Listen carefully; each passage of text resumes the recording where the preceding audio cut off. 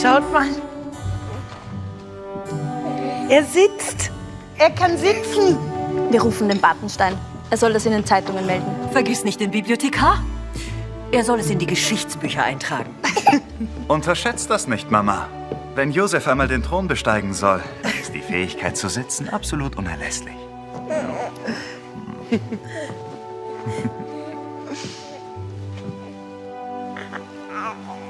Ich bin bald zurück. Nein, bist du nicht. Und das Geld? Verlass dich auf mich.